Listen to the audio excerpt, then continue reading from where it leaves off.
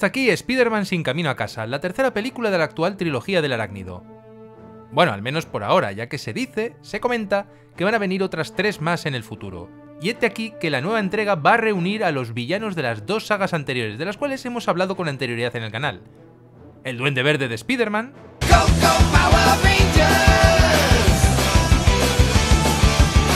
el Doctor Octopus de Spider-Man 2, el Hombre de Arena de Spider-Man 3, el Lagarto de Amazing Spider-Man y el Electro de Amazing Spider-Man 2. Espera, ¿habíamos hablado de Amazing Spider-Man 2? Ya decía yo que me faltaba uno para terminar la colección. Pues mirad, ya tenemos tema para el vídeo de hoy, Amazing Spider-Man 2, el poder de Urk Electro.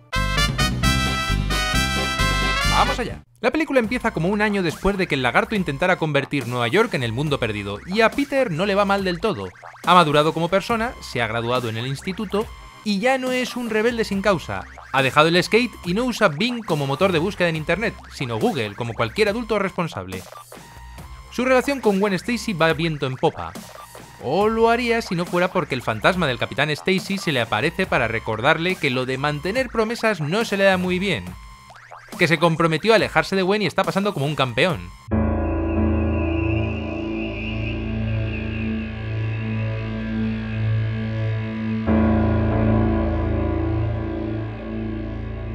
Si su complicada vida romántica no fuera suficiente, aparece un nuevo chalado con poderes llamado Max Dillon. Fan de Spider-Man a muerte e ingeniero de Oscorp, después de caer en una cuba con anguilas eléctricas mejoradas genéticamente, se convierte en un Doctor Manhattan de la energía electromagnética, pero sin ir enseñando el ciruelo por ahí. Esto no es más que electromagnetismo superconductor. ¿Pierde el pelo y se vuelve malvado? Ya sabemos cómo funcionan las cosas en el universo de Spider-Man. Cuando alguien más consigue poderes, lo que hace es causar problemas. Y aparte del electroduende, Peter tiene muchas otras cosas de las que preocuparse, como su relación con Gwen Stacy o la reaparición de su viejo amigo Harry Osborn. Eso sin contar con el misterio todavía irresoluto de la muerte de sus padres. Vamos, que a Spider-Man le sobran las preocupaciones. Cuando analicé a Amazing Spider-Man comentaba que realmente no se esforzaron mucho con el reinicio, simplemente cambiaron cosas por el simple hecho de cambiarlas. Pero bueno, pensé que había que darle una oportunidad para ver a dónde llevaba esta nueva versión. Y nos acabó llevando a la mierda. Porque la estáis cagando a base de bien. No arreglaron ninguno de los problemas principales de la anterior película y encima crearon en su lugar problemas nuevos. Los dos principales problemas que ya señalé en Amazing Spider-Man siguen ahí. El ritmo sigue siendo irregular en ciertos momentos de la película y la relación de Peter y Gwen es bastante regulera. Toman la extraña decisión de que Peter rompa la promesa que le hizo al Capitán Stacy, se acuerde de ella a los 10 minutos de película y rompa entonces con Gwen para luego reconciliarse más adelante. Para eso podrían haber empezado la película directamente separados. Y luego están esos diálogos tan absurdos que tienen entre ellos. Parece que estén intentando emular a Tony Stark y Pepper Potts en las películas de Iron Man, pero en mal. Ya existía ese problema en Amazing Spider-Man y no mejoró desde entonces. Lo que no ha ido a peor es el sentido del humor del arácnido, que es una de las cosas buenas que tenía su predecesora. Spider-Man resulta igual de dicharachero y suelta sus chistes y pullas con la misma gracia. Lo que sí ha empeorado es la calidad de los villanos. En la primera parte teníamos al lagarto, que no es que pasara la historia como uno de los mejores villanos, pero se podía empatizar con él, no estaba mal. En Amazing Spider-Man 2 directamente tiraron la casa por la ventana y nos ofrecieron no uno ni dos, sino tres villanos. Empecemos por el cabeza de cartel, Electro. En los cómics Electro era un villano que no pasaba de ser un super chorizo. Me refiero a un criminal con superpoderes que quiere hacerse rico por la vida rápida. En la película decidieron darle un trasfondo y motivación nuevos y vaya, no pudieron elegir peor. Porque lo de llamarle Urkel Electro no es algo gratuito, esta versión de Maxwell Dillon es básicamente como Steve Urkel, un tío muy inteligente, pero torpe y totalmente inepto en lo social que acaba consiguiendo superpoderes. Tiene suerte de no haber acabado convertido en un hombre anguila. Pero incluso compararlo con Steve Urkel es quedarse corto, ya que Urkel demostraba tener más carácter.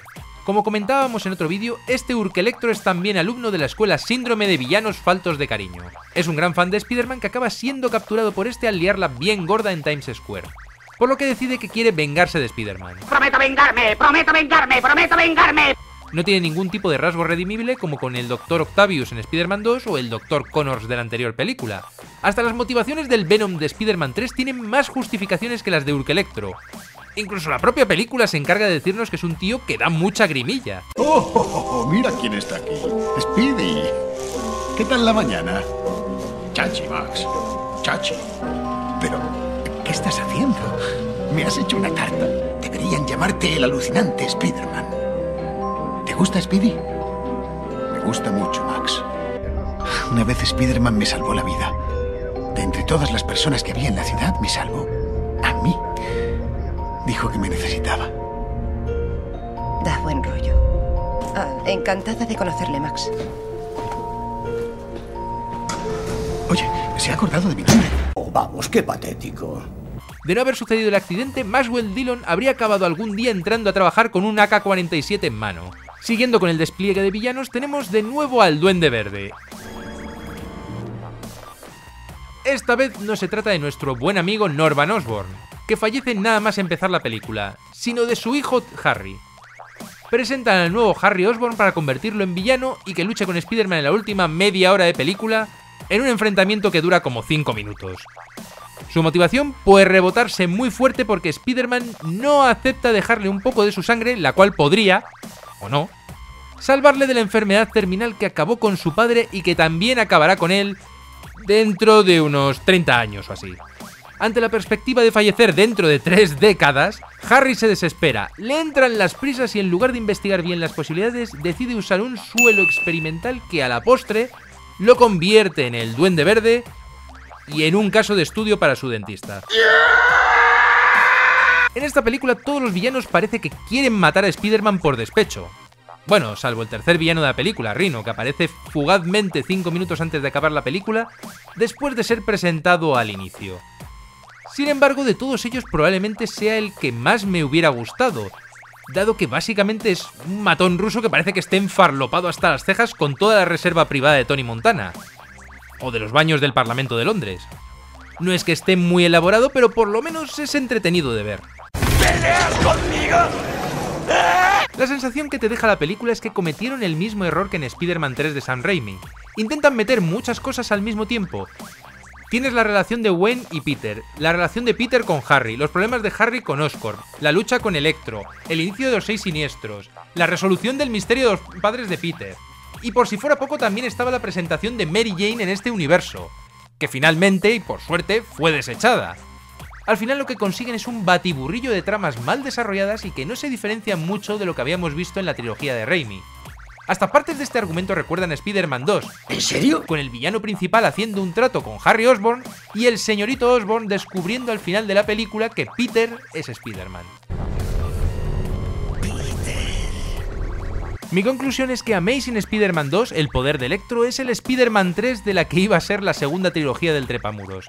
Las escenas de acción están bien y Andrew Garfield sabe interpretar bien al superhéroe rojiazul, pero eso no compensa la confusa trama y los villanos faltos de casito.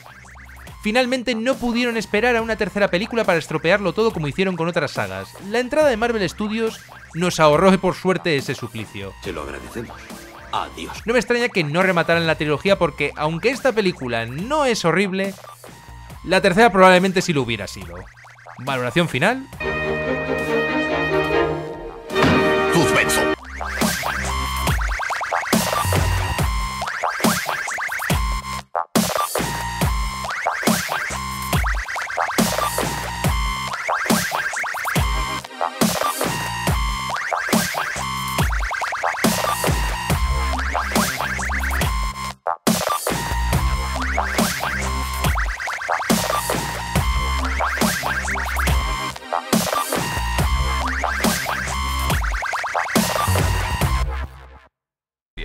Movimiento, dispárele.